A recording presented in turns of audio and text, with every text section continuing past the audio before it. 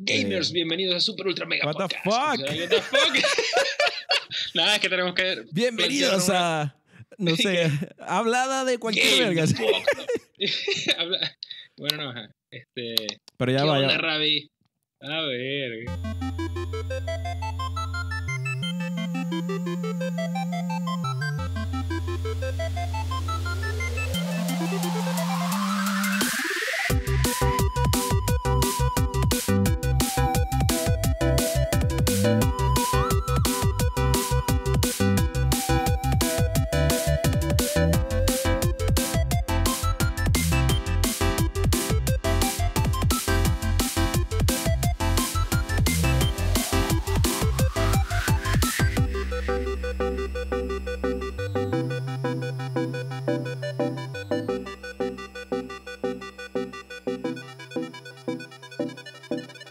Gamers, bienvenidos a Super Ultra Mega Podcast. Estoy hoy acompañado de Raúl desde el México DF. ¿Qué tal, Ravi? ¿Cómo estás? Excelente, mente Mente Bien. enfermo.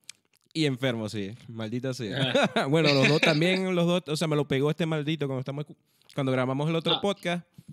Mentira, Digitalmente. Para el, momento que, para el momento que grabamos el otro podcast yo estaba zanahorias. Fue después ahí que me empecé a sentir mal. Y, ah, tengo un poquito de dolor de garganta y vino un año nuevo chino. Fue a ver los fireworks. Estuvieron muy buenos. ¿Con los chinos? Después. Aquí hay una comunidad china grande en Panamá. Entonces aquí celebran el año nuevo chino. Qué épico, loco. Bueno, aquí también debe haber chinos, pero yo no sé dónde lo hicieron. No, yo, yo creo yo creo que en el DF de México hay un Chinatown y toda vaina. No sé, o sea, esa vaina es tan grande que. Ya, ya, ya, que escuché que había algo así como un, Para de hablar como ya. un barrio chino. Oh, Oh. ¿Qué es eso? Beer. No, se ven up. Sí, tengo un flu y me voy a tomar un beer. Yo no puedo tomar beer porque estoy tomando antibióticos. Después me da un, un- La palabra del día, un mayombe. Pero ya, va, ¿cómo- ¿qué fue lo que te dio? Una amigdalitis épica, no sé qué, insana. Faringo amigdalitis Chronicles of White Knight. Cállate, no, era una infección mal parida esa que no Chronicles tragar. Que que Sí, que te estuvieras clavando un cuchillo ahí que... Eh, voy a tomar agua y esa verga, ¡ah! Te clavaste un puñal ahí en, la- en las amígdalas. Es horrible verga. Ahorita la gente que está escuchando, mi alma, que este podcast del coño. Sí. Sí, vamos a hablar de gaming, aunque esa huevo nada de estar. estar No, está bien. Claro, De vez en cuando No, bueno, se puede es que- desviar, pero nos volvemos a, enderezar. sí, pero. Ya para entrar en materia, este no es el spoiler cast de Undertale todavía, ¿verdad? Maldito, como ya es spoiler, spoiler del spoiler. bueno, básicamente, este... Best game. No, no, vamos, the o sea, quiero hablar. Sí, sí, esta es la transición a un tema más incoherente de la historia, pero básicamente queríamos hablar de Undertale porque lo jugamos los dos. Y, pero No, pero ya inicialmente ya. quisiera Tú hablar. lo pasaste ya, porque no, el spoiler cast va a ser cuando tú la hayas pasado, no me importa qué final hayas sacado para poder hablar ahí. Bueno, exacto, ah, exacto, eso iba. Este, primero queríamos hablar de algo no más en general, o sea, como nosotros como haber jugado el juego, impresiones generales y sin spoiler, o sea, no más como que ah, bueno. cómo se lo impressions. recomendarías a la gente, o sea, como que spoiler free, todo eso, pero explicando el por qué más o menos Sí, bueno, el juego es excelente. Básicamente, los que nos escucharon la semana pasada, Rabi y yo, bueno, eso creo que lo discutimos fuera del aire, así que nos escucharon, eso voy a jugar cualquier verga, así que un reality, o sea, some 24-7 live stream, pueden ver a Rabi todo el día y what the fuck. Sale una, sale una camarita ahí que, hey, este, y si Undertale, dale pues. Así ya, eso es todo. Y después sale, después me enfocan así en un estudio y que "E- ese día me sentía muy mal. Y no sé qué es lo que Todo le dije a Ricardo en ese ahí. momento. Y después salgo yo gritando, a verga, no voy a jugar Undertale, no jodas. y bueno, eso fue lo que me salió de mi alma, lo siento. Y, Sí, básicamente, bueno, él y yo fuera del aire hablamos como que para tratar de estar un poco más al día con los juegos que han dado de hablar. Bueno, Undertale todavía está relativamente fresco. De hecho, todavía tiene muchas métricas y un montón de gente jugando en Twitch, en YouTube. todo Sí, en Let's Play, haciendo todos los mods. Bueno, todos saben que venimos recientemente del año pasado, que todas esas listas que hacía que sí, GN, GameSpot, Polygon, todas las páginas de Game of the Year y toda esa vaina, y bueno, en algunas ganó, en unos estuvo nominado, eso fue un juego que dio mucho de color.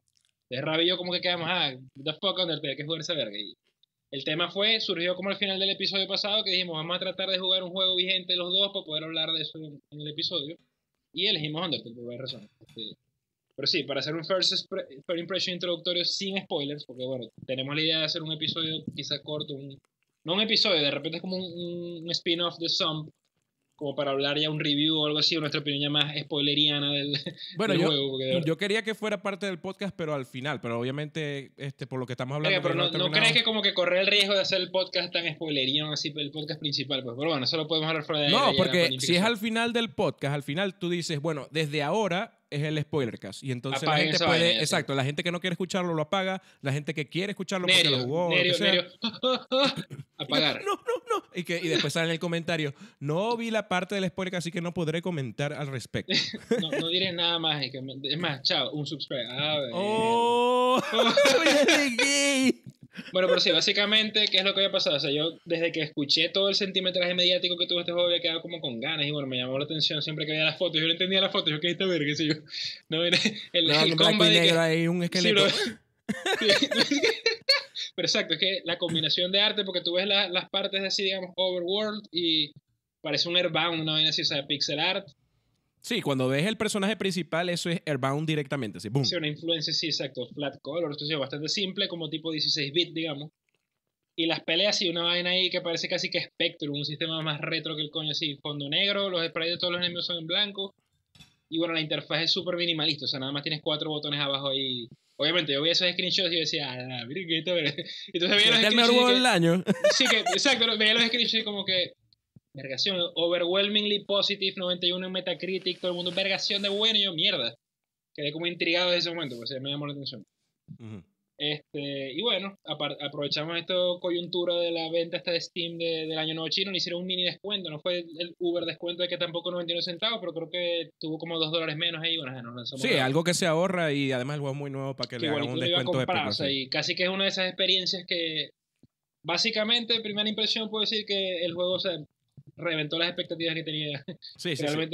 Bueno, además de la introducción que dio Ricardo de, del arte y de la impre- o sea, de lo que tú ves en, visualmente del juego, este, sí, el juego es bastante hermano incluso en la parte de peleas, porque primero es un- como un JRPG, pues, o sea, es un juego Sí. de, con, con peleas de turno, vamos a decirlo así. y entonces el juego, este, inicialmente tú ves, o sea, se ve desde arriba, como Airbound, y las peleas son como en primera persona, entre comillas, tipo Dragon Quest y Airbound Sí. también.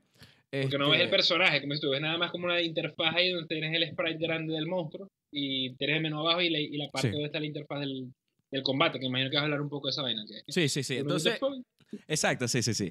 Lo bueno del juego, y ya vamos a hablar por qué tienes que jugarlo, a todos los que nos están escuchando que no lo hayan jugado, ¿por qué lo tienes que jugar? Bueno, primero, bueno, algo muy recomendado que sí, para que puedas apreciar bien el juego, es que tienes que ser un fan de los JRPG, porque de verdad tiene mucho meta. O sea, el juego sabe que, o sea, él hace muchas cosas o te, te quiere de alguna forma eh, manipular tu impresión sabiendo que tú de alguna forma has jugado JRPGs en el pasado, pues, o sea, tienes que Sí. estar más o menos saber los tropes de los JRPG, más o menos qué sucede, ¿no? No, y no solo eso que dijiste tú, de, de que ya estés como fogueado en el género, o sea, yo no, hay muchas referencias, algunas sutiles y algunas no tan sutiles, a otros JRPGs. Claro. Lo que pasa es que, bueno, no voy a decir una detallada específica porque no sé si ya pasaste esa parte del juego y no quiero spoilearte ni a ti. Porque spoiler que arrancó coño la madre Ricardo, ahora no puedo jugar Undertale, ya la cagaste.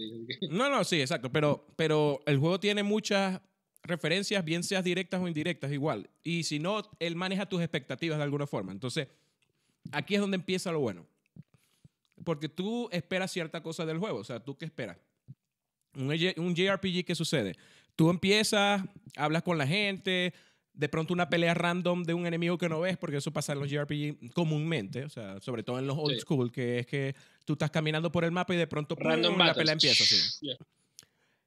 Y Normalmente, ¿qué pasa? En esas son peleas, son literalmente peleas. O sea, ¿tú qué vas a hacer? Fight. O sea, vas a pelear, vas a atacar, Fight, vas- Magic o Special Skills si el personaje tiene un combo. ¿no? Pero Fantasy. pero todo está basado, disculpen por también la gripe, ¿no? Pero No estás Eh, perdonado. ya le pegué todo a, la gente Sí. que me está escuchando. Fuck, todo el mundo me puede Digital culpar.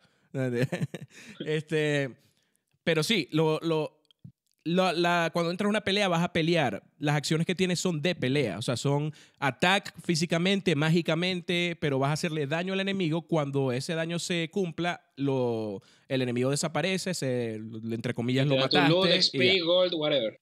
Y exacto, y la progresión del juego, que es otro aspecto importante que lo acabas de mencionar, es que es tipo RPG, o sea que tú estás ganando experiencia por la pelea, o sea que en teoría es que por tu pelear estás ganando una experiencia que tu personaje está creciendo, está teniendo una progresión como personaje y se está haciendo más poderoso porque está haciendo Y entre más peleas. habilidades nuevas, etcétera, etcétera. etcétera. Bueno, entonces aquí es donde Undertale es what the fuck. Entonces, eh, eh, Undertale empieza que te- tú tienes tu, tu comando de pelea y puedes atacar perfectamente. Tienes un ataque, bien sea un golpe. Que, que de por él le da a Fight y sale la vaina esa lo que es una interfaz que, Sí, y entonces, que, ting en medio. Y sale exacto, tipo, si alguna vez jugaron Final Fantasy X y usaron el límite eso de, de Zidane Sí. y ese tipo, que son, que se- es una barra que va y cuando llegas al- justamente al medio, ahí es donde vas a pegar más duro si le das al botón. Entonces, Y bueno. que ya, ¿qué coño, qué coño dijiste? Final Fantasy X, Zidane, y que... Sí, y que Zidane, lo que pasa es que estaba viendo Final Fantasy 9 en iOS, que es otra cosa que quería hablar. Pero bueno, con el de Tidus, pero bueno, el, de todas maneras, casi todos los, Tidas. todos los over, no sé, los límites, no sé cómo se llaman ya, ya se me olvidó de tanto, overdrive, ¿no era? En Final Fantasy- over- overflow, memory overflow, buffer o callate. Sí. Pero bueno, ah, entonces hay un Ah, timing, o sea, es una, es una cosa de que es una barra que se, hay una barra y una barra adentro donde que se mueve. Cuando llega al medio, si le das al botón justo en el medio, pegas más duro. Si Pega más pegas, duro. entre más te estés este, desviando del medio, vas a pegar menos duro. Y si no le das para el coño, se acaba el turno, se nota atacaste. sí. Pero ajá, esto no tiene nada de ciencia, o sea, es igual que otros RPG. De pronto te das cuenta que, bueno, ajá, aquí hay otras opciones. Y como gamers uno siempre ve las opciones, ¿qué otras cosas puedo hacer? Y dice act, o sea, es una acción, acciones. pues, o sea, Actuar, y como lo- que- actuar. y de pronto ves cosas de incoherentes. Ahí sale que si, este, Sí, porque es que De- decir del un enemigo. chiste. Cada enemigo tiene acciones diferentes que puedes, que puedes unlockear, digamos. Porque cada enemigo Sí. las acciones cambian. exacto. Entonces, primero puedes hacer Bueno, como cada un enemigo, slash, Puede- cada, cada enemigo de interrogación, enemigo, ahorita Undertale es como tú puedes pensar y que, why, why is this my enemy? Porque tengo que matar a esta criaturita ahí. Exacto, entonces, sí, sale un bichito, un- un- una ranita. Muere, muere. ¿Y entonces, y entonces la ranita eh, está así, te está mirando como que fuck. Y entonces, eh, tú Eso lo más probable que hagas, un como bit, todo marico, que es una, una, un textbook example de que ultra expresión hay un vergo de un. Ma, yo, yo no quiero matar a la ranita, marico. Pero como todo, porque por lo menos en Dragon Quest también salen los slime que son todos cute, pero uno los mata ra. Por coño, que, Ah, paz, y lo matas así el pupucito. así. oh, joder, que level up, vamos. Bueno, entonces, este, pero entonces descubres que hay acciones diferentes. Entonces, de pronto te das cuenta que el juego tiene otras mecánicas, que no es no necesariamente matar al enemigo, sino que puedes de alguna forma, eh, bien sea lógicamente o con emociones, entre comillas, eh, convencer al enemigo o resolver la pelea en una forma más pacífica, pues. Eso se, vamos a decir lo que eso es lo que lo- la opción que te da. O sea, el juego te está da- dan- dando una opción de que puedes matarlo o puedes de alguna forma salir de la pelea pacíficamente, este, sin matarlo, pues. Entonces, y a veces, bueno, hay muchas otras cosas. El juego te- siempre te está sorprendiendo. De pronto, no, de pronto lo matas No, porque- y no lo querías matar. exacto. Cosas así incoherentes. O sea, pero no, no quiero llegar mucho a, a- a hablar mucho de esos detalles. Pero sí, pueden suceder. O sea, el juego te sorprende todo el tiempo. Como que el diseñador este, específicamente pensó en que qué puede estar pensando ahorita el, el jugador y qué puedo hacer para que se sorprenda. Algo así. Porque en- me Sí, se- sorprende se- todo el se ve- tiempo. el Es juego. es deliberado, pues. Exacto. No Entonces. Entonces, y, y te da hints. Por ejemplo, cuando estás con la ranita, de pronto la ranita dice como que no quiere pelear. O sea, el texto dice que la rana dice que no quiere pelear de verdad y tal. Así la rana se ve, y- se ve como asustada, por ejemplo, la mierda. Sí, es como que... Pero uno normalmente, ¿qué hace? Mata, mata, mata, mata. y entonces, pero de pronto ves que de pronto en acciones te dice, por ejemplo, voy a, no voy a dar las acciones específicas de la rana y nada, ahorita ni me acuerdo. Pero, por ejemplo, dice darle, sobarla, o sea, como que calmarla o algo así. Entonces, le das al botón y entonces, ah, la rana se siente feliz porque la calmaste. Y Pero hay- igualito, viene el, pero igualito viene el turno ese shooter hybrid. Sí. Pero sí, exacto. Es otra cosa del juego que ya yo creo que es más de mecánica. No sé si habrá una metáfora más adelante, pero eh, el, siempre este, el, el juego te está... O sea, los enemigos, así estén pacíficos, entre comillas, o tengan miedo, igual te atacan. Bueno, obviamente, como sabemos, en el mundo real, la gente por miedo ataca. O sea, y la gente y las criaturas, todo, pues. Sí. Este, pero en otras especies que de pronto no tiene miedo, es otra cosa, pero igual siempre atacan, pues. Entonces, este, igual, si tú vas por un camino pacífico y no quieres matar a ese enemigo específicamente, igual él te va a atacar y el juego tiene un mini, un juego, la pelea tiene como un minijuego, algo así, cada enemigo... 'em Sí, es demasiado épico porque cada enemigo tiene un ata- ataques diferentes. y Casi siempre son Uno dos o varios, porque a veces, exacto, tiene varios patrones ahí. Sí, hay hasta jefes que, bueno, tienen millones, o sea, todos diferentes todo el tiempo, así. Entonces, eh, tienes un cuadro donde está en el centro hay un corazón que se supone que es tu alma o algo así. Sí, Soul. Sí. Y entonces tú, los ataques vienen en ese cuadro y tú tienes que esquivarlos tipo shoot 'em up, como dijiste tú. O sea, es como un juego de esos de naves que estás esquivando bullet hell, así. Claro, no todo es bullets, pero es muy, muy de ese estilo. O sea, tú tienes que esquivar los ataques de esa forma. Y hay otras cosas, otras variaciones más adelante, tampoco queremos spoilear, pero eso sucede, tú te mueves ahí y esa es la forma en que tú esquivas. No es, no sé, dándole block, un comando, algo así. Tú tienes que mover tu gamepad o tu teclado, en mi caso, para mover tu corazoncito y esquivar las cosas. Entonces, básicamente, la forma en que yo me lo imagino es algo así como Dragon Ball, cuando el tipo está esquivando las cosas. Como que, no, tranquilo, no te voy a matar. Bueno, así me lo ¿Cómo, imagino cómo? yo.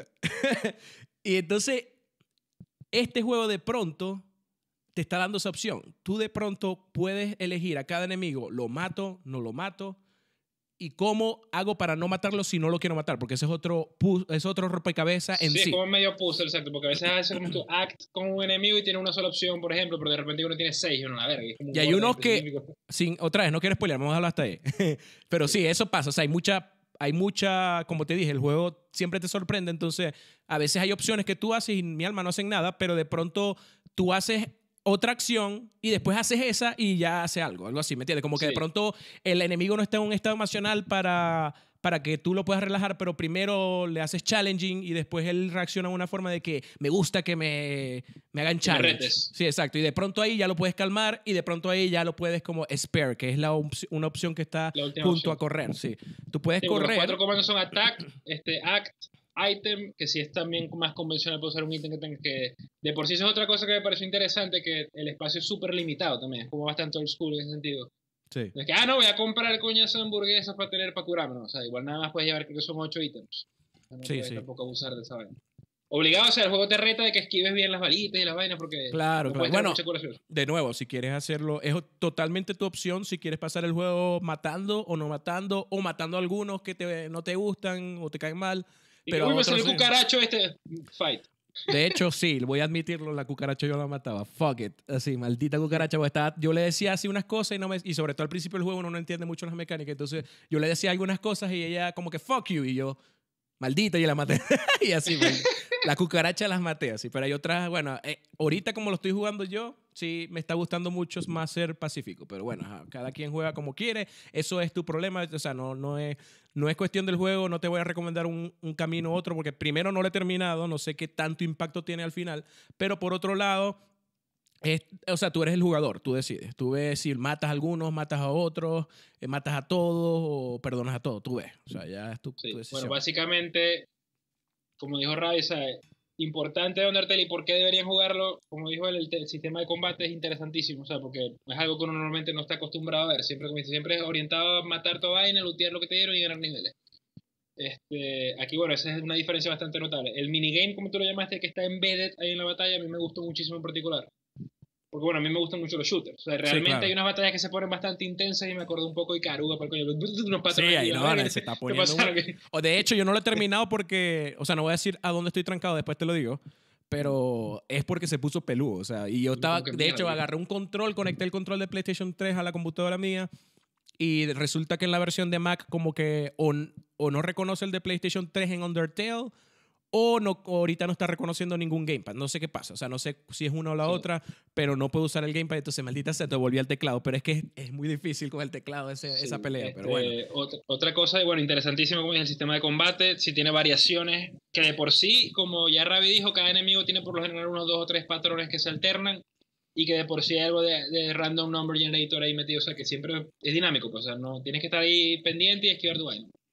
Que le añade un poquito de dinamismo a lo que es el combate tradicional por turno.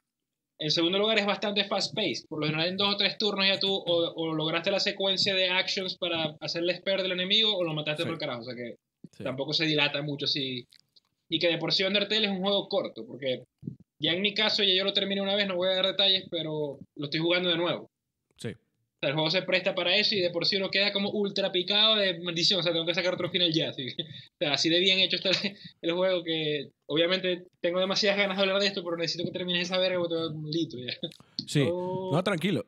Sí lo voy a terminar. Yo también ando emocionado, pero bueno, entre el trabajo y la cosa no lo había podido terminar. No, porque fíjate, otra cualidad que tiene Undertale, bueno, la música es demasiado buena, básicamente. O sea, sí, uff, sí, sí. Y tiene una variedad, o sea, tiene chiptunes mega retro y tiene músicas un poco más tirando lo que era el Super NES también. O sea, tiene como una y ahí hay algunas de las referencias a otros JRPGs que les estaba diciendo que no eran tan sutiles. O sea, no voy a decir en qué parte del juego, pero hay unas canciones que son casi que un tributo directo a otras canciones legendarias de RPG de la era del Super Nintendo. Y sí, puedo decirlo porque atentos a ver cuáles reconocen y después, bueno, podemos hablar de eso en los comentarios y todo.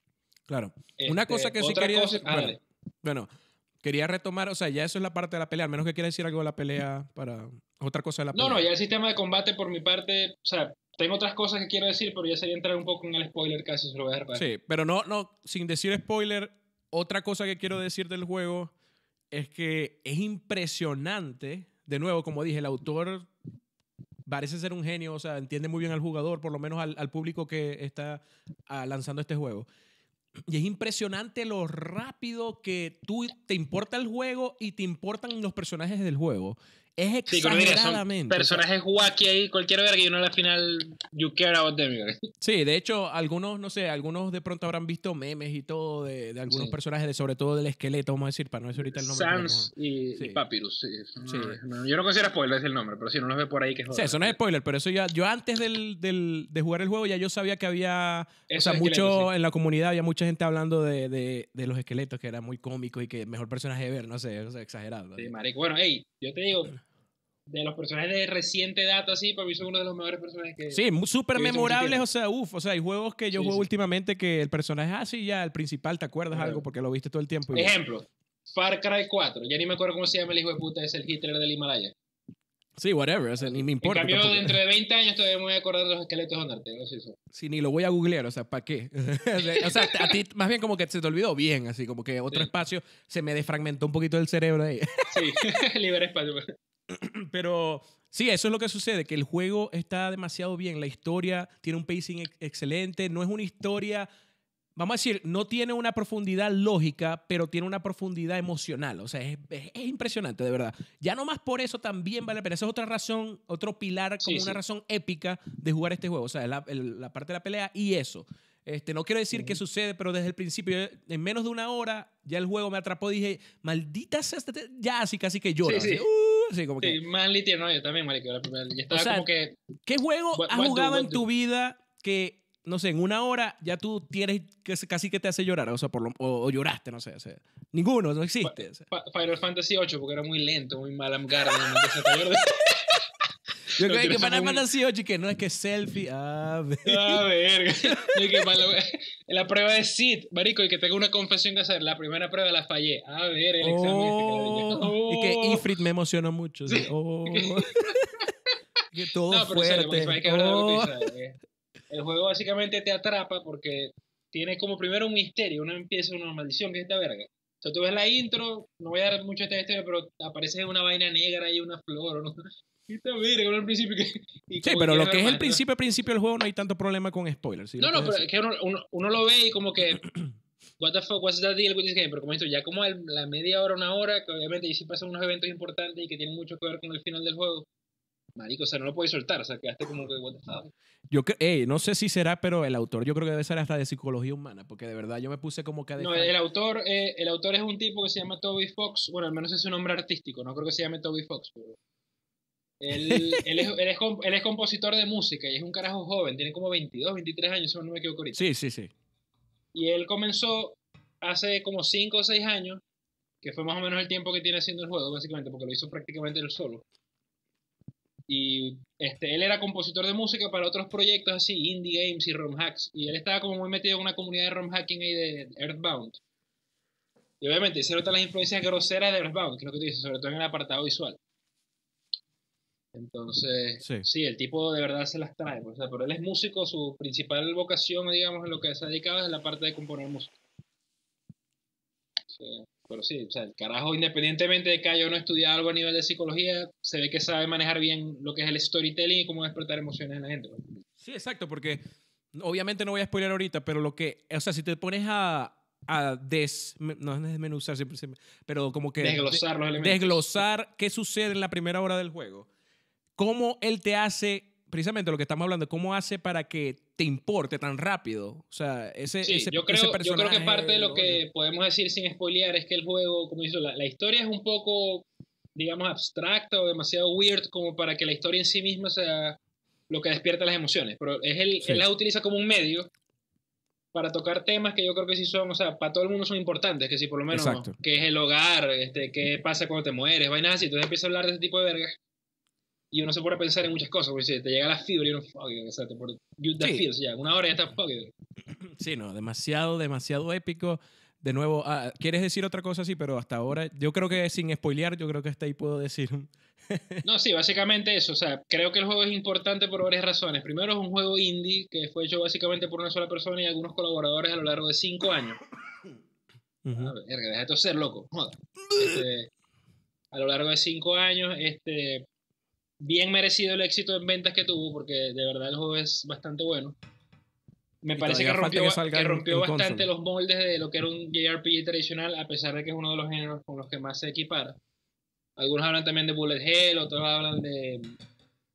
de ¿cómo es? No, no, de novela interactiva porque tiene muchos choices que tienen in- influencia en el desenlace. Sí. Este, y choices no solo de las conversaciones como tal, que a veces te preguntan, ajá, ¿qué, va- qué quieres hacer? ¿Ir al norte o ir al este? Preguntas básicas, no, este, sino que de repente los choices que tú tomas en los combates, como esto si mataron a un enemigo o de repente cómo lo perdonas, ese tipo de cosas. Sí, no, no, y hay Este- unas cosas locas que suceden, obviamente sin spoiler, pero en el hay lugares que, por lo menos, tú te esperas que suceda algo en un RPG, por ejemplo, hay un tesoro y lo vas a agarrar, pero entonces cuando agarras, no sé, sale no sale un enemigo tampoco porque eso es cliché también en los RPG, pero sale otra cosa, sale what the fuck y, y de pronto Sí. no, no puedes agarrar el ítem por no sé qué y después tratas otra cosa y después pasa otra cosa todavía más what the fuck, así como que Sí, sí, el juego juega un poco con eh, las expectativas, como dices tú, que de una manera bastante genial, o sea, porque Toby Fox de repente, voy a poner un cofre. ¿Qué coño hace la gente cuando ve un cofre en un juego? Va y da clic al action button y agarra esa mierda y ya. Sí. Entonces, no, como que son otras cosas por allí. Hay muchos avisos regados por todos los juegos con mensajes. Me recordó un poco lo que te había contado de Braid. O sea, veces hay mensajes que uno como que dice, mierda, ¿qué tiene que ver esta vaina con esto aquí? Y en verdad es como una meta narrativa ahí que sean los temas estos que yo dije que el juego toca, o de repente, cuando lo estás jugando por segunda vez, de repente le vas a ver más sentido. Pero no voy a entrar en detalles para no spoiler. claro. Pero sí, básicamente eso. O sea, los que no lo han probado, pruébenlo. Como es importante por varias razones. Por algo estuvo en todo ese poco de listas que estuvo. O sea, de verdad sí está bien merecido que está ahí. Que yo quedé como que, mira, este juego que puede tener que está ahí, entonces todo el mundo un beso y medio y tal. De verdad que sí, superó mis expectativas en ese sentido. Este, ¿Tú le recomendarías, ¿tú le recomendarías el juego a alguien que no sea, no esté dentro de los JRPG en general? O si todavía crees que una persona que no haya jugado JRPG pueda entender el juego en general. Yo diría que sí, porque a pesar de que tiene muchos de los de las digamos mecánicas, sí, pues es, es- ejemplo, que vas caminando y hay un random battle, a pesar de que ya hablamos de lo diferente que es la batalla a la tradicional batalla de un JRPG por turno. Sí. Creo que sí hay bastante material que una persona puede disfrutar. Otra cosa que noté es que el juego, a pesar de que tiene esta mecánica de bullet hell que podría ser un poco difícil para algunas personas, sobre todo los que están muy acostumbrados a jugar 100% por turnos o que no juegan juegos de acción así tan twitchy. El juego es bastante forgiving. O sea, yo he notado como que hay instancias donde de repente... Bueno, no, pero es que salga spoiler si digo eso. Sí, no digas nada. Así que no digo nada. Bueno, pero sí, o sea, yo creo que el juego es bastante accesible a pesar de eso. Es un juego corto. Es un juego divertido. Con mucha variedad de situaciones. O sea, que yo creo que una persona que no haya jugado JRPGs también podría disfrutar bastantes cosas del juego. Claro. Y bueno, los, los production values, porque mucha gente decía que el arte de Undertale era malo. O no, pero eso lo decía normalmente la gente que no había jugado el juego. O sea, por ver un screenshot ya, por decir algo fuera de contexto. Porque yo diría que esto es un ejemplo claro de... Es un arte simple, no voy a negarlo. Pero a pesar de eso sí tiene consistencia, por lo menos tú ves cosas, todos los enemigos son blanco y negro, por ejemplo. Sí. Este, la interfaz de la batalla tiene su razón de ser para dejar espacio para el cuadro este donde está el, el metagame, que a veces cambia de tamaño dependiendo del enemigo, todo eso. Hay varias cosas allí. Este, fuera del- de la batalla hay muchísima variedad de, de escenarios, por ejemplo, en el pixel art. A pesar de que es bastante simple, tú de repente estás, no sé si ya tú llegaste a Snowden, me imagino, no voy a entrar mucho en Sí, sí, sí. de- que de repente, ajá, en la nieve, flat color, pero de repente cruzas un puente y un mega fondo épico de pinos y uno la virgen, muy épico, ese tipo Super Sí. NES, por ejemplo. Sí, sí, sí, Eh, esa es- parte fue buena. Entonces, ese tipo de cosas, que hay mucha variedad en el arte. Y yo me di cuenta que fue un deliberate choice del autor del juego. Quizás porque como era él solo, también para simplificar el arte hasta cierto nivel, pero a pesar de eso está bien logrado. O sea, yo no criticaría el arte del juego como mal hecho ni nada por el estilo. Sí, lo, lo que pasa es que lo que yo veo, no, no veo nada malo en el arte, al contrario, me, parece muy bien. Me- veo que todo es diferente en general. eh, Por lo menos, digamos, en otros juegos de pronto agarran, vamos a hacer los enemigos, y entonces los enemigos, todos, las bocas tienen que ser de esta forma o los ojos tienen que ser de esta forma. No, todos los enemigos son diferentes, pero Sí, todavía de los pueblos, la todo. forma en que se representan dentro del juego es, es igual. Pues por eso, si yo sí hay patrones de diseño, pero al mismo tiempo se, todo es diferente, ¿me entiendes? Por eso que digo, es un tema de art direction y no de que el carajo era un amateur y no sabía lo que estaba Exacto, haciendo. A eso es a lo que me refiero. exacto. O sea, De que sí hay algo de totalmente. narrativa allí. Inclusive lo que te había comentado también de que detalles sutiles como que un NPC cuando habla en el dialog box tiene un font diferente que los demás. Ajá, sí, sí, Entonces, sí. Y bueno, en el caso de los dos esqueletos, que son dos de los casos, hay otros Y las voces que tienen. sí cambian. Ahí hay algo, bueno, eso sí lo voy a hablar en la spoiler café, no, pero sí, básicamente ya para ir cerrando el tema de Undertale y hablar de las otras cositas que tenemos por ahí, este, yo sí lo recomendaría a alguien que no tenga experiencia en el género.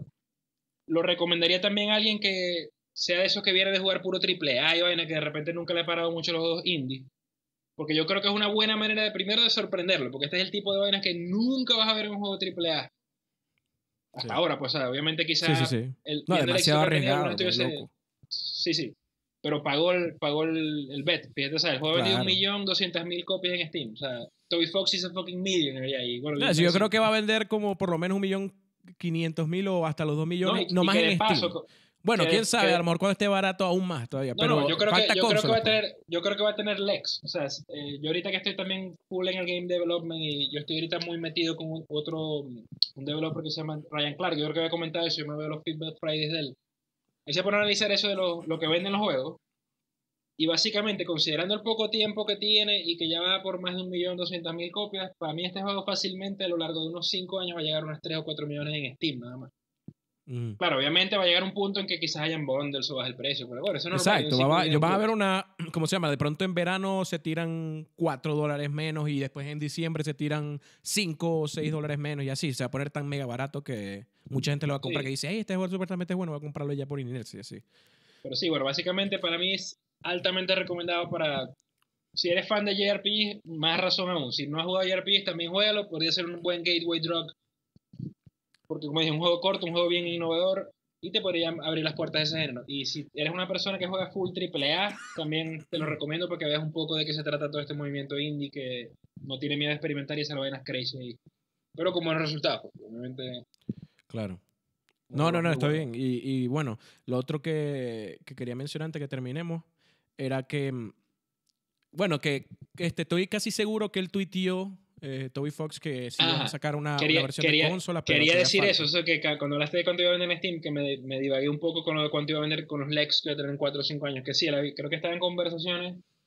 No dijo con qué, digamos, si Sony, Microsoft o Nintendo, pero obviamente todo el mundo, oh my god, y que este juego sería perfecto en 10. Oja- ojalá, ojalá sea Nintendo nomás porque quiero que saque un amigo o algo así, que haya posibilidades de un amigo como sí, Shovel Un Knight. amigo, un amigo de Sansei. Que por cierto, Que no me por cierto, no, lo, Ya lo te llegó. amigo, lo re- no, marico, míralo, hubo un verguero con Amazon ahí básicamente. Bueno, yo, ya callate, te voy a spoilear. Lo tengo también. Oh. Bueno, no, no, es que yo lo tengo, tengo dos huevos, tengo tener ¿Qué? dos Y que that's even better, así como que. Que ah. Bueno, uno lo saca uno y otro lo tienes en la caja. Exacto, y que la verga es que dentro de 20 años que un box show de vivo tiene que 20 mil dólares en eBay, a la verga que colectan ahí, empezó oficialmente que la- la- las colecciones locas. Sí, yo creo que ese amigo, o sea, va, sí se va, ahorita se encuentra. Yo, lo- yo fui, habían dos, o sea, sí, sí hay buena Sin embargo, cantidad. a la final, pero- bueno, me lo regaló mi esposa, el, el amigo Show Knight, pero Ajá. me lo compró por Amazon porque lo buscamos en todas las tiendas acá en Panamá y la gente, yo dije, bueno, estoy buscando el amigo Show Knight y los coños. Shovel Knight.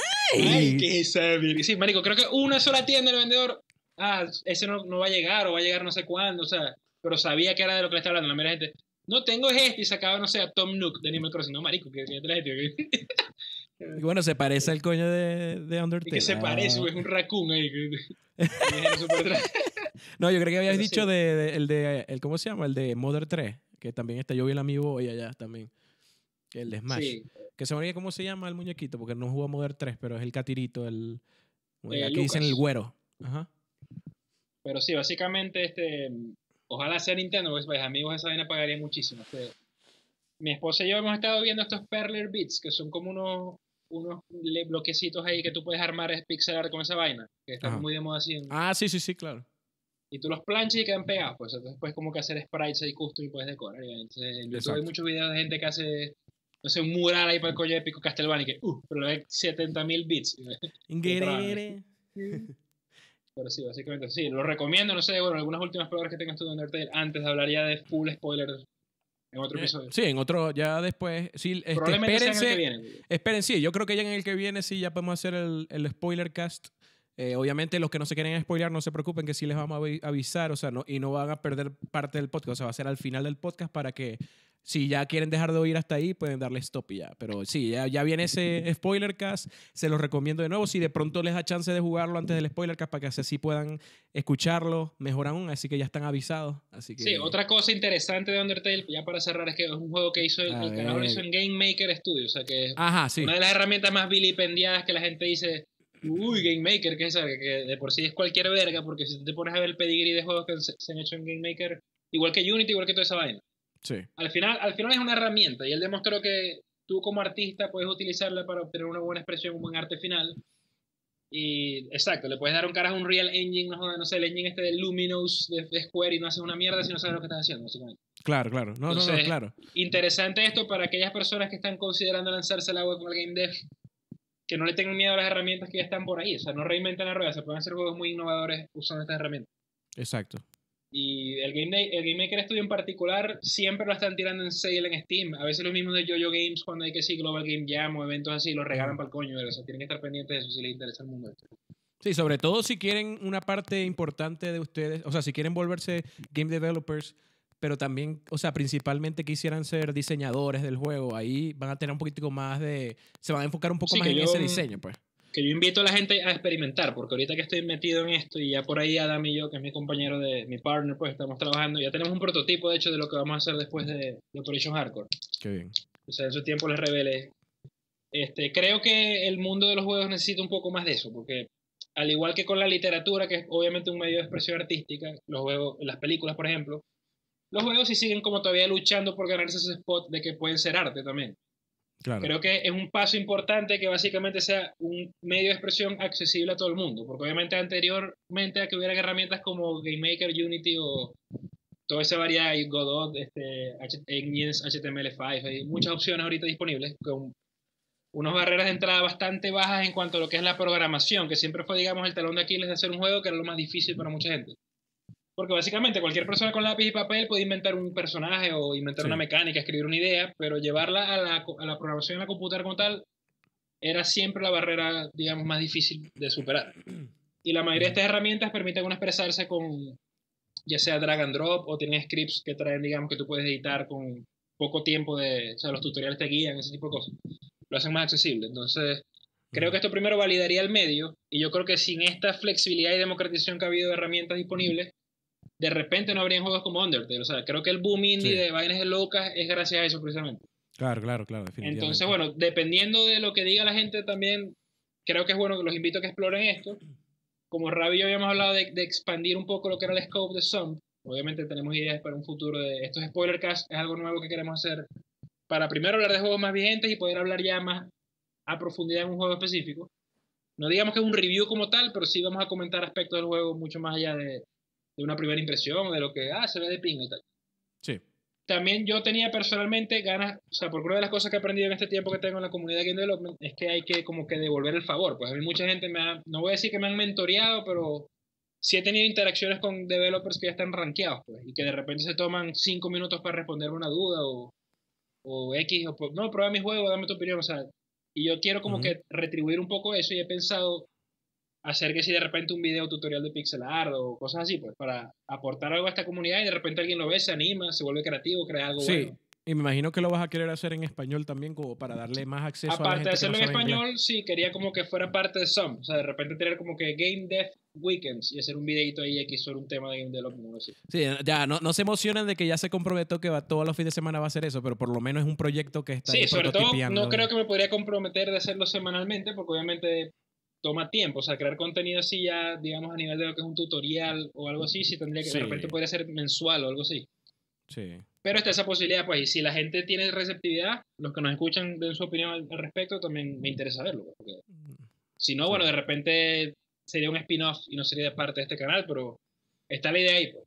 Claro, Pero, claro, yo creo que sí está. No tengo más nada que decir de. Undertale por ahora, porque obviamente queremos hablar un poco más en profundidad en el siguiente episodio. Ujú. Pero sí, básicamente jueguenlo, tienen una semana si quieren ser parte de la discusión y si no, bueno, igual sé que hay gente por allí que de repente escucha el spoilercast, igual es válido. Hay gente que no le molesta tanto los spoilers, de repente escucha algo que lo motiva más a jugar el juego. Claro, Pero juegan. básicamente yo les recomiendo eso, que, que traten de darle una probada, creo que no se van a desilusionar. Por algo tiene 91 Metacritic, o sea, tiene un appeal muy grande. Es más, tiene tanto appeal así que lo estaba jugando, obviamente, mi esposa como que se acercó y vio, ¿y qué estás jugando? Yo, no, estoy jugando Undertale.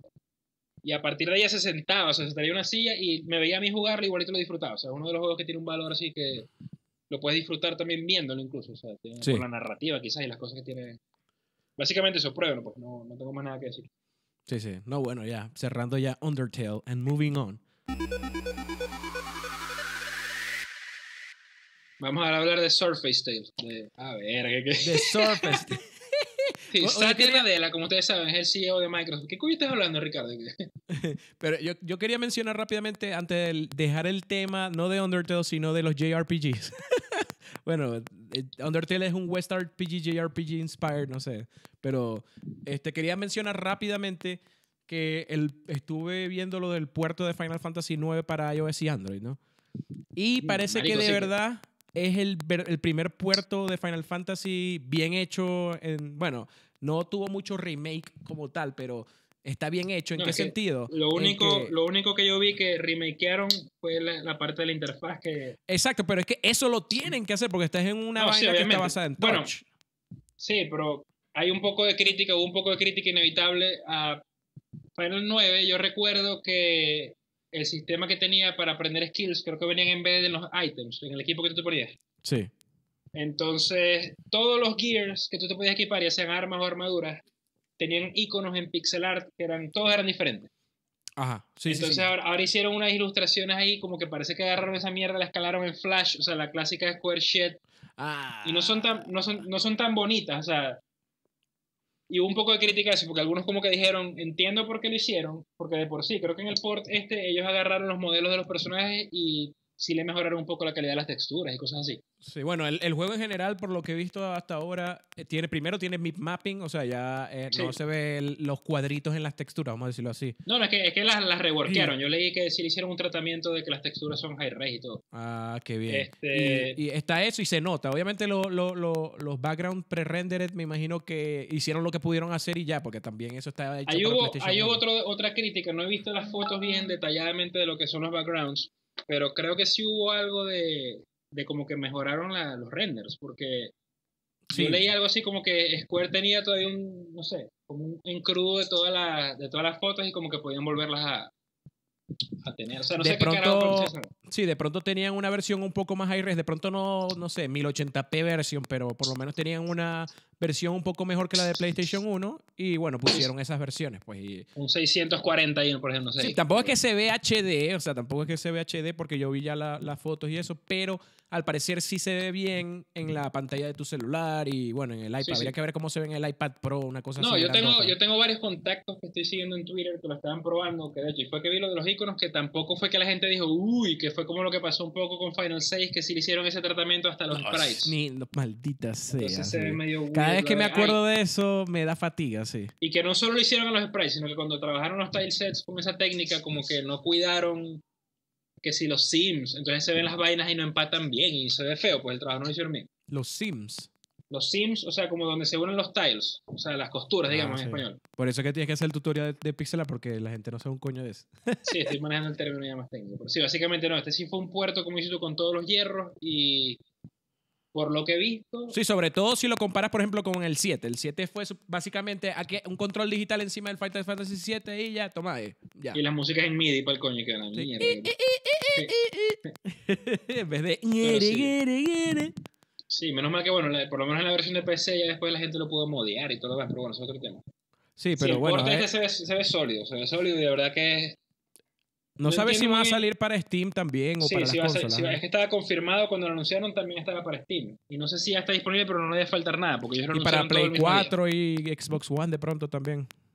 Para otras plataformas, honestamente, no manejo, se puede googlear, pero sé que para Steam sí, sí va a estar. Y creo que con Mm. achievement y todo, o sea, es un puerto bien, pues tiene bastantes features nuevos. En y tiene las características esas que uno espera que si, que si puedes eliminar los random battles, vainas así, o sea, Sí, sí, sí. Tiene, puedes eliminar los random battles. Puede, creo que hay un botón también que te maximiza la- los stats. Y también puedes.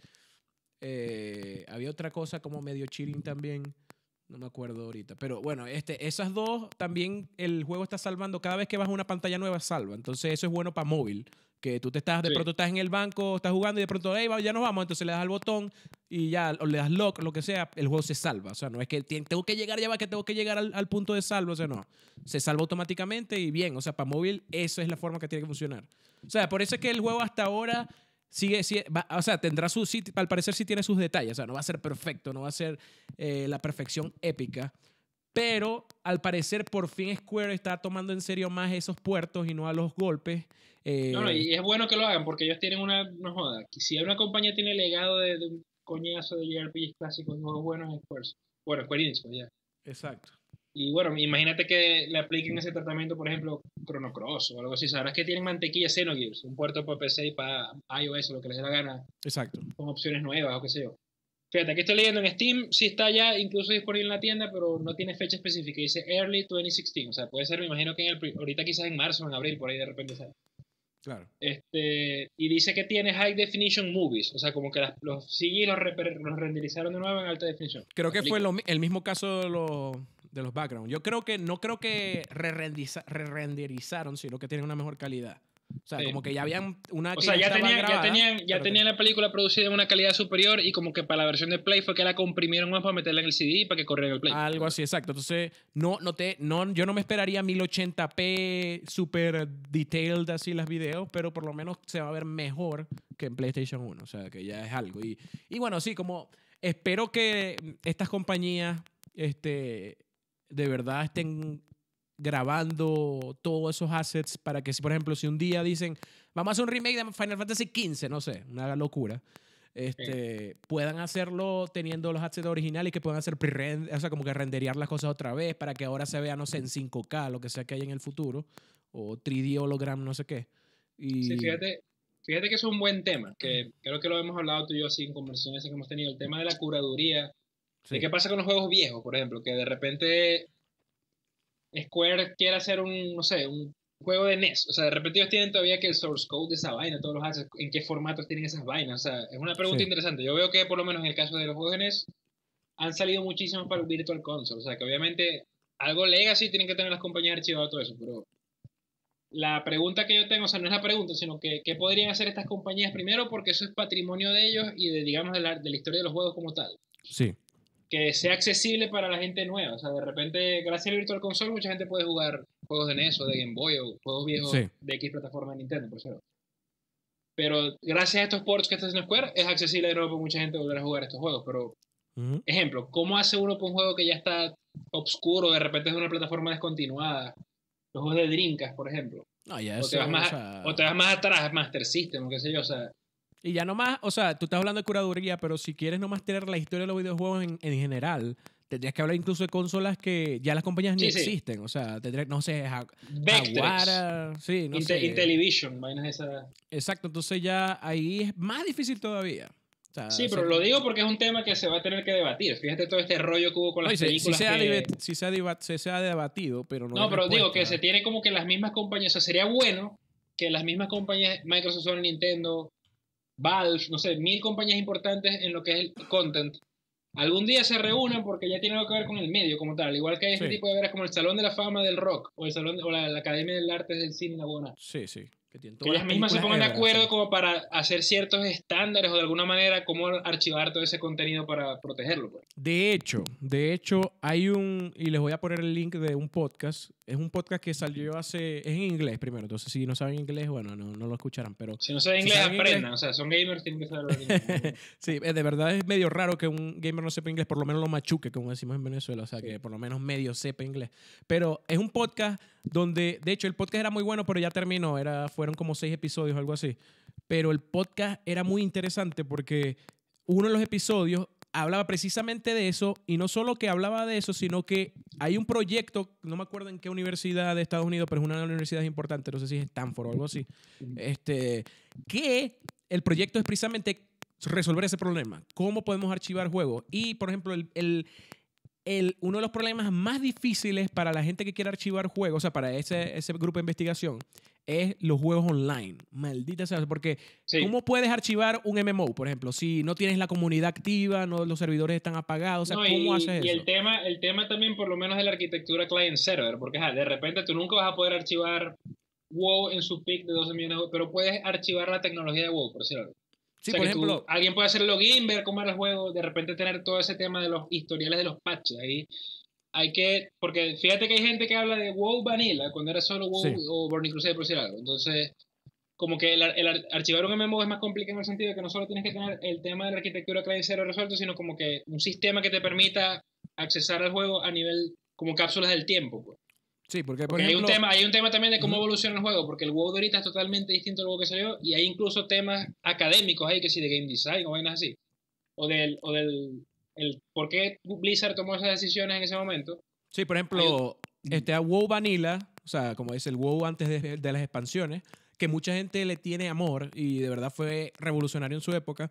¿No sería, por ejemplo, una persona que esté aprendiendo los juegos o simplemente está pasando por la historia del juego, no sería interesante que pudiera revisitar ese mundo y de Exacto, pronto decir, la, como la ahora quiero hacer... tú puedes ir a una Sí, biblioteca y leer un, un libro viejo, de repente las hemerotecas, mejor, que tienen periódicos o revistas. Puedes agarrar un snapshot de la Gran Sí. Depresión porque lees el New York Times de ese día, por ejemplo. sí, lo, y ves como que cómo se estaba percibiendo la noticia en ese momento, que es muy importante. Exacto, no a es eso es a lo que me después. refería en el caso de un juego como WoW, que es un juego que tiene años y años y años, entonces que de repente la sensibilidad de game design y lo que la gente esperaba del juego en ese momento era distinto. Sí. Y, Y, y- puedes analizarlo a través del juego. Y, la, y, y sin ir muy lejos, este, el mismo mundo de los videojuegos, mucho más fácil, por ejemplo, si tú quieres jugar Final Fantasy VI como salió originalmente, lo, primero los emuladores hacen muy buen trabajo, segundo todavía hay Nintendo, que- Super Nintendo que funcionan, puedes agarrar en la versión japonesa para el coño y la pones y, y sí funciona pues. O sea, lo juegas No, y, y- lo juegas un tema- SRT. El tema este que ha habido del revival de las consolas, estas retro, tipo el Retron 5, esa vaina, que también hay opciones de hardware que literalmente es el hardware, porque esa vaina adentro tiene chips y todo, pero tú Sí. de repente te hace el output a HDMI, entonces por lo menos ya, ah, de repente es muy difícil hoy en día conseguir un televisor CRT, Sí. pero puedes tener acceso a él, digamos, a través de una plataforma física, porque Sí. obviamente los emuladores de software van a ser, son una pieza clave en todo este tema de, de salvaguardar los juegos. Sí, y habrán puristas y los entiendo que van a querer, no, no, pero es que el juego lo tienes que jugar en un CRT con RF, o sea, la, la conexión RF en vez de audio-video, no sé, o sea, se van a poner mega épicos ahí de, de lo la- Sí, yo creo que, juega. yo creo que todo eso Pero- tiene espa- yo creo que todo eso tiene espacio en, en el tema de, la- de conservar este patrimonio, porque es como cuando tú vas a un museo de la aviación, de repente tienen todavía un avión de la Segunda Guerra Mundial que a través de que lo han mantenido, el avión está puede volar, por decirlo algo. Sí, Entonces, como que, obviamente, cuando hayan estos espacios físicos que ya están empezando a aparecer, de hecho, en Estados Unidos hay más de uno. Hay uno que es el Mu- Museum of Play, eh, creo que Smithsonian también tiene una exhibición permanente de videojuegos. Mm. Este, y tienen obviamente que si una máquina esta de Space War que funciona, tú puedes jugar en el hardware original. Uf, épico. Entonces, ellos obviamente en este tipo de museos sí van a cuidar hardware que lo van a mantener en working condition y todo lo demás. Pero digamos, para hacerlo más accesible a las masas, que de repente yo estoy, soy un estudioso de esto y necesito jugar Mario Bros 3, un emulador puede servirte suficientemente bien. Ujú, Entonces, pero sí, es un tema que creo que se tiene que discutir más de lo que se ha hecho, porque, sí. y más ahora en esta época que la cantidad de juegos que salen, 40 juegos diarios, no sé qué, o sea, por más malos que puedan ser, creo que vale la pena hacer el esfuerzo de, de tratar de, cate- de catalogarlos y de archivarlos, sí. por No, X no, o Y razón. pues. Entonces, Sí, ya Esto, nomás, eh, primero por la historia, no más por la historia, por la investigación, para aprender del pasado. Y por curiosidad, o sea, ya nomás, por ejemplo, una persona, tu hijo de pronto es, se hace gamer, o sea, no tiene que ser gamer necesariamente, pero imagínate que tu hijo también sea gamer y diga, hey papi, yo quiero jugar como se jugaba antes, cómo, cómo jugabas tú, no sé. Entonces, tú le puedes Y que mostrar. mi alma no tenían Steam. Es como yo vi un meme de eso, de, salía Bane de, de, de Batman y que, y que tú, tú no sabes nada de los juegos y que a mí los juegos me moldearon. En mi, back in my day no habían password, no se salvaban las partidas por coño, verga sin NES. Sí, sí. Era, exacto, y que yo, yo dejaba el NES prendido para irme al colegio para no tener que volver a empezar el juego. Cosas locas uno hacía en esa época. Pues de repente tú cuando tengas un hijo, un nieto, así, como que mi alma, en serio los juegos no se grababan. Era como algo tan obvio así que sin tener la historia como historia archivada no van a poder entender. Es como cómo se movía la gente antes. Ahora hay Uber, ahora hay aviones que bajan de un país a otro en horas. Y antes había que agarrar un barco por semanas y no sé qué coño. Y habían carruajes. O sea, hay gente que no entiende esa vaina porque simplemente no le para bola la historia. Pero ahí está, está archivado. Hay, hay museos de la historia contemporánea, de la historia natural, de cualquier vaina. pues. Pero los juegos no, como que están todavía muy fragmentados en ese sentido. Sí, y, y lo otro, lo otro también por, como por qué preservarlo tan puristamente.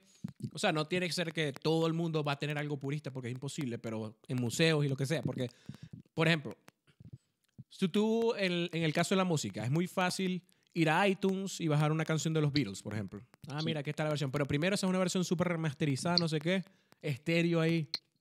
Pero la, vers- la versión verdadera, primero tienes que saber cómo era la época en el momento. O sea, que, en qué, está, qué estaba viviendo la época de los- del principio de los 60. Que, el, por ejemplo, el rock en ese momento estaba muriendo más bien. O sea, era what the fuck. Y, pero entonces de pronto salieron los Beatles y revivieron el rock. Entonces, está, entonces, por eso es que el rock se hizo más juvenil en esa época. Antes era más de, como que de adultos, como de los veintipico, algo así. Pero después murió. Pero después empezó a crecer en los teenagers con los Beatles.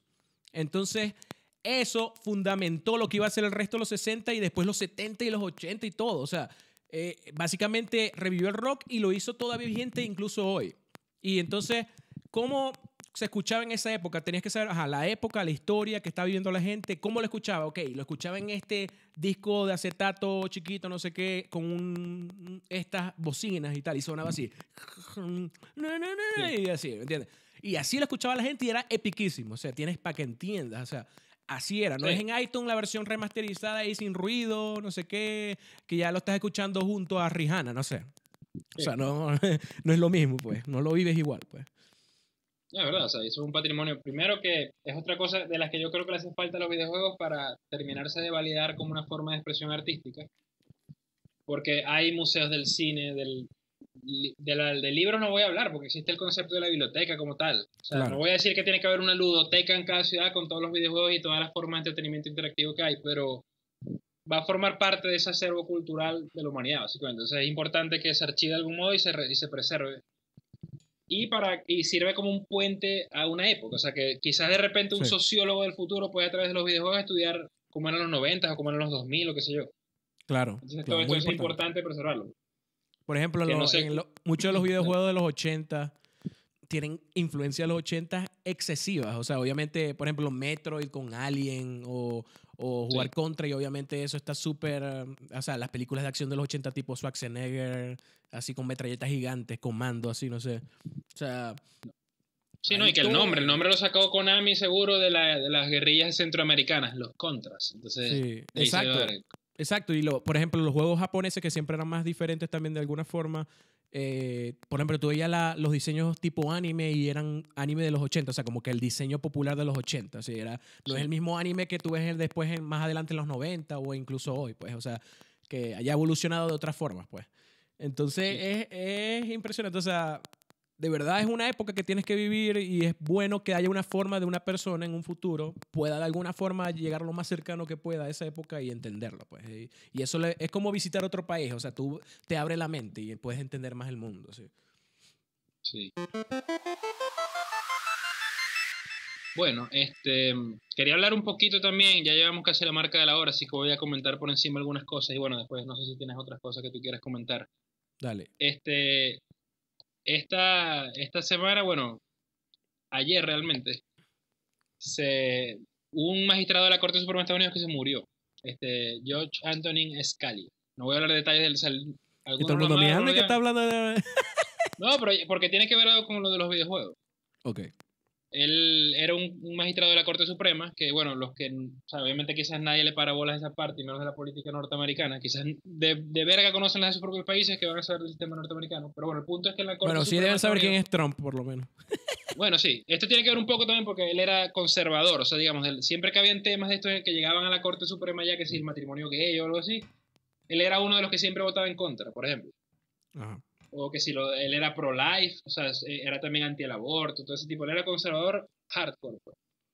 Ujú. Pero ¿qué tiene que ver? ¿Por qué lo nombro aquí? Porque hubo un, un, un caso en el 2011 en el que llegó a la Corte Suprema, o sea, se, se escaló hasta llegar a la Corte Suprema de Estados Unidos, y tenía que ver con el tema de los videojuegos. El problema este que hubo en California de que había que re- regular los videojuegos este, violentos o con contenido, digamos, de alcohol o de sexo, de qué sé yo, que los niños no los pudieran comprar, pero digamos, no el tema del, de la- del rating esto de ESRB, sino un enforcing más fuerte, o sea, algo así como lo de los cigarrillos o el alcohol, por decir algo.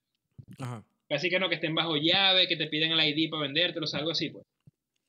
Uf. Entonces, esa broma se hubo un debate de que las compañías de juegos decían que no, porque los juegos eran como que una expresión artística, como ver unas, las películas o las novelas que Claro. en, en una librería venden, no sé, las novelas del Marqués de Sade, que obviamente un niño no las puede leer. Pero están ahí, pues. Entonces, como que ellos decían que los juegos tenían ese mismo derecho, pues, como un medio de expresión artística. Bueno, el punto es que esa vaina escaló hasta llegar a la Corte Suprema. Y cuando llegó el, el momento del voto en la, en- en la Corte Suprema como tal, obviamente ganó el tema de que los juegos tienen que estar protegidos como el First Amendment de la Constitución de Estados Unidos como free speech. O sea, que a Claro. través de un juego tú puedes decir lo que te dé la gana. Y que tengas Pero el eso, derecho eso sucedió el año pasado o algo así, ¿no? Eso ya sucedió hace un No, eso fue en el 2011. Ok, sí. Cinco años. Y que O sea, es reciente en cuanto al tema de la historia, pero tiene ya cinco años. Sí. Pero eso Pero fue una el ganada tema- épica para los juegos Sí. en, en Estados Unidos, sí. A nivel mundial en general, porque obviamente todos sabemos la influencia cultural que tiene Estados Unidos, sobre todo en Occidente, Europa y Latinoamérica, y tiene un precedente importante, pues. Y el tema fue que el, siempre que hay una decisión de la Corte Suprema, uno de los jueces tiene que escribir, digamos, la posición oficial de la Corte, después de que hace una votación. Y la pieza de- de- la escribió este, este juez, pues, que es un- Ujú. Y él dice eso, básicamente que... mm, Déjenme ver si consigo el quote aquí, pero... Bueno, realmente no consigo el quote de él, pero sí, él básicamente dijo eso, que los videojuegos, al igual que el film y, lo- y la literatura, este, son medios a través de los cuales se puede expresar uno cualquier verga que te dé la gana. O sea, lo que, como dije, yo puedo hacer un juego de matar bebés, lo que me dé la gana. Obviamente que la crítica me va a comer vivo, que esa mierda que me dé para ver, qué sé yo, pero tengo mi derecho de expresar eso, por decir algo. Estás aludiendo O- a lo de a lo de Nintendo, así como que censoring. No era, era Nintendo, no, era iOS. Apple. Apple. Lo de Censuring- Binding of Isaac. Sí, ajá. No, que eso valdría la pena comentarlo un poquito, pero... este, Pero no hay- tiene no- algo no- que ver. No, no, claro que tiene algo que ver, pero bueno, todos sabemos que. Apple, que Apple es bastante draconiano y a veces poco transparente con lo que censuran y no censuran, porque ajá, censuraron este juego, pero en la parte de, de libros en iTunes tú puedes comprar libros donde hacen cosas peores que Binding of Isaac. Entonces, Claro. como que primero hay una doble moral ahí. Parece que Apple todavía no toma muy en serio los juegos como un medio de expresión artística, sino son como un electronic toy, quizás para ellos. Entonces, tienen que dar el mismo trato que le dan a la música, a los libros, a las películas. Entonces, que- ahí hay Y ellos que, son-. Y ellos que son tan avanzados en el tema, o sea, por ejemplo, tan firmes en el tema de la privacidad y ese tipo de cosas, de pronto que se vengan con esto también, me- a mí me parece medio no congruente también. Yo lo veo ese incongruente y un poco bastante de doble moral. Porque, como dije, si lo hicieran en todo, en la música, en las películas, los libros no dijeran nada. Pero ¿por qué específicamente los juegos? Y este juego en particular, que hasta logró salir en plataformas de Nintendo. O sea, que Sí. Nintendo también es ultra conservador y. Y que le pongan, o sea, hey, tiene, aquí está el ERSB rating, o sea, este es el rating que tiene el juego. Si tienes parental control en tus aparatos, no lo puedes Sí, bajar. es un tema Eh, que. Yo hablaba ya. con mi esposa bastante de que el parenting lo tienen que hacer los padres, no Apple. O sea, Apple ponga el contenido y que cada quien en su libro albedrío decide qué comprar y qué no comprar.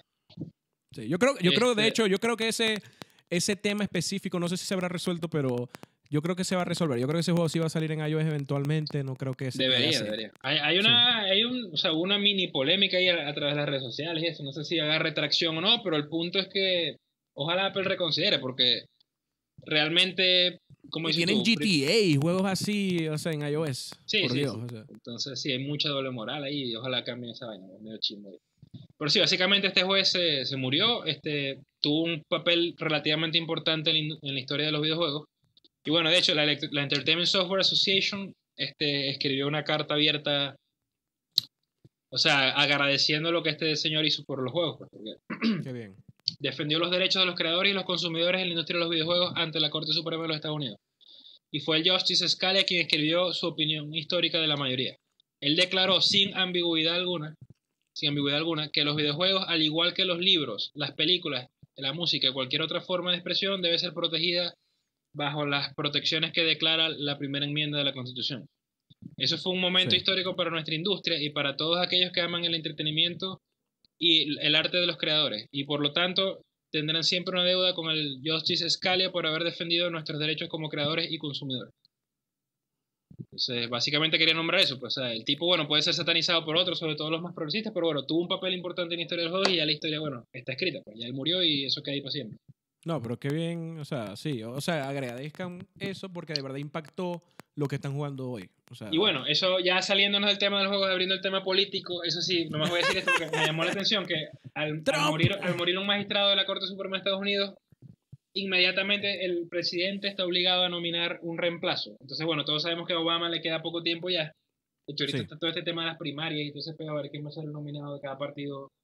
De los Sí, dos sí. partidos importantes, porque todos sabemos que en Estados Unidos lo que hay es un bipartidismo y ya. sea, cualquier otro candidato es folclórico, básicamente. Este, y el tema es que ahorita el, el Senado eh, está, digamos, controlado por la mayoría republicana, que de por sí está dividida. O sea, entre los conservadores o y moderados y los más radicales, o sea, que son los que sí, los que apoyan a Trump y ese tipo de vainas. Entonces, el peo que hay ahorita es que, ajá, Obama puede venir a nombrar a alguien y el Senado tiene que aprobar, o sea, o aceptar esa nominación, pues. Sí. Entonces, bueno, básicamente a los que les interesa el tema, lean, que ahorita hay muchos análisis porque se abrió una lata, digamos, un can of worms, como dicen los gringos con ese tema, porque se pueden poner las cosas peliagudas, que de por sí ya están bastante, o sea, feas, considerando que mucha gente consideraba lo de Trump como un joke, pero realmente está ahí dando la pelea y, y existe una real ganar posibilidad de que, de que un loco como Trump gane por el coño la presidencia de Estados Unidos. Obviamente eso sería vergación horrible para el mundo en general, pues. Por muchas razones, pero Ahora, bueno, como dije, este no es un podcast de política, toda sino de nuestra, acabamos de perder todos eh, nuestros oyentes pro Trump. eh. Aunque creo que debe ser muy poquito porque Como dije, esto, no, esto es un podcast, esto no es un podcast, un bias, así que puedo decir algo así como lo que decía Angry Joe con el tema, eh, Angry Joe no, Alpha Mega 5 con lo de Fine Brothers y que good riddance, así como que no quiero tener audiencia pro Trump, no esa mierda, si son unos locos, así que Sí. yo tengo mi Mira. opinión, pues, es mi opinión y no sé, Ravi puede tener otra y los que nos escuchan pueden tener otra, yo las respeto igual, pero tengo derecho a expresar mi opinión después de todo es mi show. Sí, no, no se preocupen, o sea, no, no, es nuestra opinión, Sí. o sea, que si te están Sí, esto ni siquiera, habla de, eh, ni siquiera habla de política. Así que otra cosa que quería comentar de juegos por encima, sí, ya para ir cerrando, este, ya salió un Ravel, que estábamos hablando un poquito de un Ravel también. El juego del Journey, pues el jueguito este de EA de- del muñequito este de, de lana y broma. Sí, sí, sí, yo quiero jugar. Uf. Y bueno, tiene, tiene scores decentes. Está en PS4 en Metacritic tiene 80, 76 en Xbox One y 79 en PC. Yo escuché que supuestamente el juego es muy bueno, pero creo que al final hay una cosa frustrante ya como, como, como que debieron calibrar que leí en el, yo leí el resumen del review en Polygon, creo que le dieron 6.5, algo así, le dieron un poco duro. Mm. Pero decían que el juego era, era muy charming visualmente, pero que era muy unforgiving y que tenía algunos problemas de mecánicas. Entonces, como que por eso fue que le bajaron el score. Habría que ver si de Sí. pronto el juego, o sea, le hacen unos parches que medio arreglen la cosa y ahí se juega, ¿no? Ya sé que Sí, igualito-. Igualito me llama la atención, es uno de esos juegos Oh, que claro. un poco por la estética nada más, algo así como lo que pasaba con Little Big Sí, como un artsy o- así, como que hay que jugarlo obligado, aunque sea Exacto. para, aunque sea jugarlo, probarlo, ¿no? Sí, otro juego que me está llamando mucho la atención, que sería un buen candidato para otro spoiler cast en el futuro, Firewatch. No sé si Ah, claro. De hecho, yo estaba lo estaba viendo y dije, hey, también, este es un buen candidato. O sea que. Sí, que está ese fresco ahorita, acaba de salir el 9 de febrero y ya en Metacritic ahorita tiene 82. Y creo que por ahí viene para otras plataformas. Play Lo que tengo que 4 revisar también. es si salió para. No, mentira, en Mac. Play 4 está. En Play 4 está. Tengo que revisar Creo si que sí, creo que está en Mac, creo que en Linux incluso. Es uno de los juegos que Ajá. no, así que... Sí, si está en Linux, está en Mac. O sea, lo más probable. Sí, no, y bueno, se ve bueno. Es un juego de Camposanto, que es otro indie developer, pero de ahí, hay veteranos ahí, o sea, no son carajos que, que es su primer juego ni nada. O sea, de verdad, gente que tiene experiencia y. No sé, yo no le he entrado mucho a estos walking simulators que llaman, que si Gone Home y eso. Gone Home lo tengo pendiente, de hecho, que también tuvo un juego que dio mucho de que hablar en su momento. Mira, otra cosa. También cuando jugué Journey también pudiera ser un spoiler, que aunque está delayed, pero de verdad vale No, podemos pena. hacer un, como un comentario, o sea, sí, yo Sí. creo que de juegos viejos también vale la pena hacerlo, pero trataría de mantenerlo lo más vigente posible para, obviamente, lo que hemos hablado, de mantener el podcast más relevante y que sea el tema de la conversación del momento. Claro. No, no me niego a hacer el de Journey, de verdad. Yo sé que es un juego que tengo pendiente y, y ahorita que me Es llega que a mí no 4, me- ya, ya me lo enviaron. no- Esta semana lo debo recibir. Y a mí no me Este, duele sacrificar volver a hablar de tiempo por Journey, Journey, porque Journey, uff, o sea, el que no lo haya jugado tiene que jugarlo por eso. O sea, yo le haría campaña infinitamente, sí. Sí, este, básicamente eso. Bueno, ya hablé de George Anthony Scalia, hablé de Unravel. Yo Ajá, lo que hablar hablando- antes de que nos movamos y terminemos el podcast, pero también me imagino que vamos a querer hacer la- los comentarios, ¿no? Sí. Pero eh, otro juego que jugué esta semana, aparte de Undertale, fue Lifeline. Es un juego de móvil, no sé si está en Android, pero está en iOS. Y es un juego interesante. Es un, es un, vamos a decir, es como una, es un juego de texto, pues. Algo así como los juegos viejos así que habían antes que eran RPG de texto, pero no, no exactamente lo mismo. O sea, es puro texto, pero tú puedes seleccionar como opciones. De vez en cuando el juego te pregunta algo y tú dices, ah, haz esto, haz lo otro. Entonces, ¿a qué me refiero? Lifeline se trata de un astronauta que este, hace crash, o sea, choca, cae en un planeta, sí, se estrella en un planeta. Estaba en, un- en una nave donde había mucha gente, pero bueno, bueno, no sé si Star Trek level, pero era una nave que habían por, no sé, 10 personas, por decirlo así. Y entonces él se, él como que, oh, se, despierta así como que pasó el accidente y está ahí solo, ¿no? Y obviamente está el pedazo donde estaba él, no sé, ¿me entiendes? Y entonces como que trata de comunicarse y entonces la persona con que se comunica es tú, eres tú. Entonces el juego empieza con que él es como que acabo de hacer crash, eh, alguien me oye, alguien me oye, entonces tú pones, sí, yo te oigo, y entonces ahí empieza el juego, ¿me entiendes? Sí. El juego se trata, es un juego no es de acción ni nada, el juego es simplemente de vez en cuando, es asíncrono. Entonces el juego, tú estás, ju- este, tú ayudas al astronauta. Entonces el astronauta está primero como que psicológicamente necesita un poquito de ayuda porque no está solo, ¿no? Y está en un planeta desconocido, o sea, what the fuck. Pero este, él, él te va diciendo como que, bueno, ¿a ¿qué hago ahora? Porque este, no sé si ir a donde está el crash site, donde está la, la, la nave, o ir a, otro, a una cueva que está cerca, ¿no sabes? Entonces él te pregunta como, ¿qué, qué haría? O sea, y entonces tú dices, bueno, ve al crash site. Ah, bueno, entonces voy al crash site. Entonces dice, bueno, ya estoy caminando, me va a tardar, así que nos hab- hablamos después. Entonces pone is busy, o sea que está ocupado. Entonces en ese momento ya no juegas más, o sea, el juego no te pide más nada, tú te sales del juego.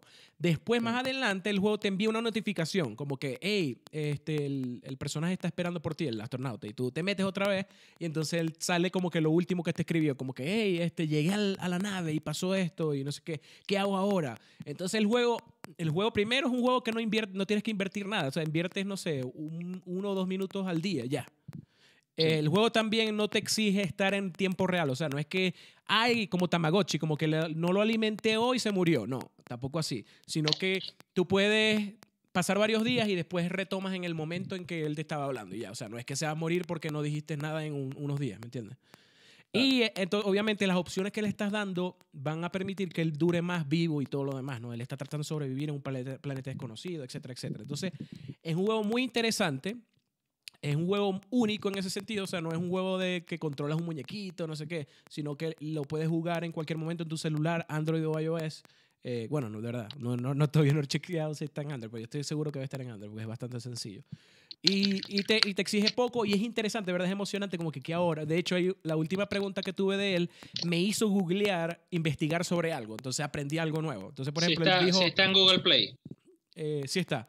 Sí. Ok, él, él- de hecho, él- ese juego lo estoy jugando porque lo dieron gratis un día en iOS. No sé si lo tendrás también. Si estás bajando todos los juegos de gratis de iOS, a lo mejor lo tienes. Creo, ya. creo, que, creo que sí, creo que sí, tengo que revisar. Yo casi los agarro Ajá. casi toda la semana. Sí, y, y de nuevo, no, no tienes que invertirle mucho tiempo. Pero como te estaba diciendo, el, este, las opciones a veces te, te hacen investigar. Por ejemplo, él te dice, no sé si dormir cerca de las turbinas o dormir dentro de la nave, pero en la intemperie porque no hay ventana, o sea, todo está roto, entonces obviamente igual voy a estar en la intemperie, pero en las turbinas hay calorcito. Pero en las turbinas hay radiación, entonces, ¿cuánto crees que puede aguantar de radiación y eso? Entonces, tú tienes que googlear así como que, ok, si él tiene tanto de radiación, ¿se muere o no? O sea, como que lo, lo mandas a que se muera o si le recomiendas que aguante un poquito de radiación ahí porque no se va a morir, pero y va a estar caliente. man. O sea, cosas así, ¿me entiendes? Entonces, el Fíjate juego- que estoy leyendo ahorita en el App Store, en el Google Play, que digo, este, sí. está, hay varios juegos de la serie, es una serie, loco, hay varios. Sí, hay varios juegos. Entonces, ese no sé si será el primero, pero ah, lo estoy jugando Yo ahorita. creo que el primero que porque sacaron- no, tiene, no tiene como subtítulo. Hay otro juego que se llama Silent Night, hay uno, Lifeline 2, que parece como una novela de terror así también cuando tú tomas decisiones y tal. Sí. Interesante el concepto. Sí, sí, y, y creo, no sé si el mismo developer hizo o la gente de, o sea, la- el- hay una persona que hizo, el, o developer que hizo el juego de The Martian, o sea, del, del marciano, el, ¿cómo se llama en español The Martian? No Misión acuerdo. Rescate. Misión Rescate. Entonces, creo que hicieron, basándose en ese mismo concepto, hicieron un juego con, con esa licencia, pero no sé si es el mismo developer o fue otro developer como que emulando la fórmula, pero bueno, también existe eso, ¿no? Pero no, esperen, eh, empiecen por Lifeline. Eh, yo lo obtuve gratis, pero creo que el juego debe ser como de un dólar si no lo tienen. 99 centavos. sí. Ajá, entonces está barato, eh, no te inviertes, es un jueguito bueno, así que de vez en cuando estás aburrido ahí, lo abres y ah, le respondes ahí a- al personaje. Y, y de pronto, me imagino que dependiendo de las opciones que vas tomando, él va a vivir más. De pronto, lo- si lo mando a las turbinas ahorita, se muere, no sé. O sea, se puede morir ahorita y fuck, tengo que volver a empezar, no sé. O Sí. puede ser que siempre tenga la misma longevidad y, no sé, él siempre muero o si hay una forma que viva, no sé. Pero bueno, e- ese, ahí está, estoy jugando ese jueguito, se los recomiendo también, muy interesante, chequenlo. Y bueno, si tú lo puedes chequear también para que me des tus No, voy a revisar. Yo creo que lo tengo en iOS. Y si no, bueno, lo puedo comprar, no está barato. Este, yo, bueno, sí, nomás jugué Undertale, jugué los prototipos que estoy haciendo con Adam. Sigo con Operation Hardcore. Este, no he jugado así nada nuevo. Ya obviamente estoy empezando a pensar en qué voy a jugar después de Undertale, pero bueno, eso lo podemos hablar tú y yo también, sobre todo si queremos jugar algo en, en común para, Sí. para otro futuro episodio. Sí, vamos a, ya esta semana lo, lo podemos pensar para que Sí, ya termina tú, termina tú lo que estás haciendo y, y después decidimos eso. Sí. Voy a, vamos a hablar un poquito de los comentarios. Bueno, en el episodio 38, que fue cuando hablamos de- del retraso de Mighty Number 9, recibimos un comentario de Kaiju Eiga. Kaiju Eiga. Esto es un- debe ser que le gustan mucho las películas estas japonesas de, de monstruos. De hecho, el avatar es un, creo que es un Ultraman o algo así. Sí, es un Ultraman.